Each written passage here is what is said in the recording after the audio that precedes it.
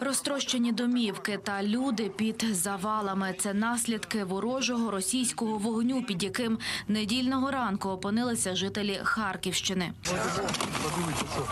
Може, ми його просто? Через обстріл Вовчанська та села Глибоке є загиблі та поранені серед мирних мешканців, куди окупанти систематично цілять артилерією, мінометами, авіабомбами та дронами.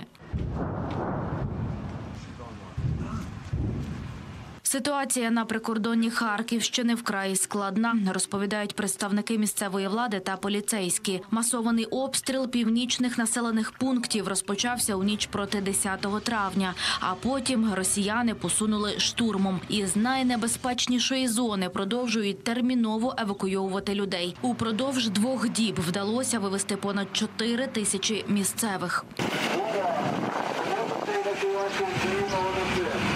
Евакуація буде тривати цілий день. Евакуйовані мешканці розгублені та налякані. З ними працюють психологи.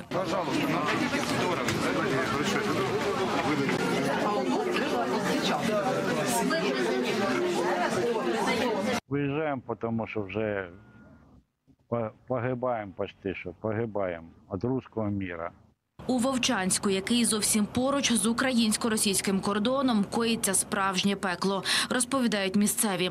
Над головами літають вбивчі російські снаряди, не вистачає харчів та питної води. А є випадки, коли упродовж цілого дня доводиться сидіти в укритті, бо виходити дуже небезпечно. Колодязі далеко, і очередя здорові, і під бомбіжками за водою не підеш. От. І ми йдемо, тікаємо від обстрілу. Там е, розбило вулицю взагалі, стрільба. Там страшно, що робиться. горить усе. Да. Там страшно, що робиться. Невозможно там перебувати. Уже страшно, очень страшно. И внуки, дети, жизнь. Не хочется выезжать, нет, це точно.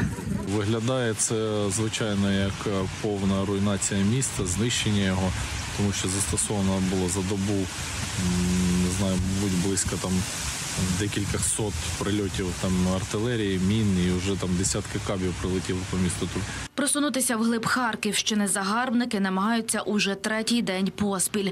10 травня ворог зайшов у низку прикордонних населених пунктів. Уздовж ворожого кордону тривають жорсткі бої. Техніка окупантів згорає до тла. Генеральний штаб ЗСУ повідомив про 12 ворожих атак. Цього тижня ситуація на Харківщині значно загострилася. Нині там тривають бої у прикордонних районах уздовж державного кордону з РФ. Ситуація складна, але сили оборони України роблять усе, щоб утримати оборонні рубежі та позиції, завдають ворогу ураження. Станом на ранок 12 травня, за даними моніторингового порталу Deep State, росіяни просунулися вглиб ще шести населених пунктів. Українські оборонці повідомили, що їм довелося відійти з деяких позицій. Росіяни пруть, несуть втрати, але наступають, наступають, наступають, і через це, звісно, доводиться втрачати деякі позиції, деякі населені пункти. Попри великий натиск російських загарбників, велику кількість яких зазвичай кидають на загибель, українські захисники стримують їх та не дають прорвати лінію оборони. Лідія Середюк, п'ятий канал. 15 років за ґратами може провести чоловік, який напередодні кинув гранату у центр броварів на Київщині. Йому оголосили підозру, інкримінують посягання на життя працівника правоохоронного органу та незаконне поводження зі зброєю. Як з'ясували поліцейські, раніше фігурант уже притягався до кримінальної відповідальності. На момент скоєння злочину він був у розшуку. Інцидент стався напередодні близько 21-ї вечора. Патрульні виїхали на виклик щодо хуліганських дій чоловіка. Коли приїхали на місце, порушник почав тікати і кинув гранату в поліцейського, який його переслідував. Внаслідок вибуху поранений правоохоронець і сам правопорушник. Наразі обидва у лікарні. У Бундестазі пропонують країнам НАТО збивати дрони над західними областями України. Німецькі депутати від партії зелених вільних демократів і опозиційного християнського демократичного союзу пропонують розмістити системи ППО на кордонах з Україною, зокрема у Польщі та Румунії. Представник ХДС Родеріх Кізеветер зазначив, що це дасть можливість розвантажити українську ППО та зосередитися на захисті фронту. Як приклад, опозиціонер згадав про Ізраїль, якому країни НАТО допомагали збивати ракети Хамас, і жодна з цих країн не стала стороною конфлікту. Масштабна пожежа спалахнула в торговельному центрі Варшави. Вогонь охопив усю будівлю. Полум'я швидко поширилося через легкозаймисті матеріали. Частково обвалився дах. На місці працюють 180 пожежників. Прогнозують, що на гасіння знадобиться кілька годин. Також працює група хімічного та екологічного порятунку. Наразі прилади не фіксують перевищення концентрації шкідливих речовин у повітрі. Причини пожежі поки що невідомі. Всі прилеглі вулиці перекрили. І це була остання інформація в цій годині. Оновлений випуск часу. Новин вже о 15-й. Будьте з п'ятим.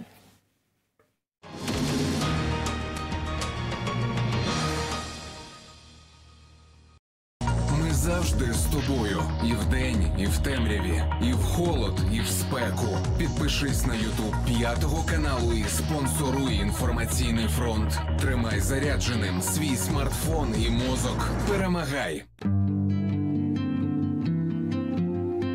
Друзі, всім привіт! Слава Україні! Слава ЗСУ! Знаєте, серце зараз тремтить, вискочить з грудей, тому що я за кермом виїжджаю до людини, яка для мене стала символом незламності, віри, сили духу, характеру і любові, яка є до своєї батьківщини, і любові між батьком і сином. Віталій Шумей. Пам'ятаєте історію цього незламного воїна, про яку я вам вже розповідала? Віталій, дуже багато пишуть е, тобі різних слів е, подяки за те, що ти нашу країну захищав. Пишуть найшвидше одужання. Так, так, це той самий легендарний командир зенітно-ракетного комплексу, який, захищаючи нас із вами з 14-го року від російських окупантів, внаслідок поранення під Авдіївкою ледь не поклав голову за свою землю. У нього залишилося півчерпа. Це сталося у серпні 22-го року. Про його шлях і перші кроки лікування в Україні та іспанській Барселоні я розповідала вам майже рік тому. Віталій Шумей, захисник України, лікується в Європі. Батько Сергій Федорович і тут доглядає за сином. Привіт, Доброго здоров'я вам. Доброго утро. Доброе утро, доброе. Тоді я спілкувалася із батьком Віталія Сергієм Федоровичем, який не відходив від сина і дбав про нього день і ніч. Він ділився першими успіхами сина, коли той почав реагувати очима і рухати руками. Власне, і зараз він з ним, тільки вже не в Барселоні, а у Модричах. І вже за кілька годин я побачу їх обох і сподіваюся поспілкуватися не тільки з батьком,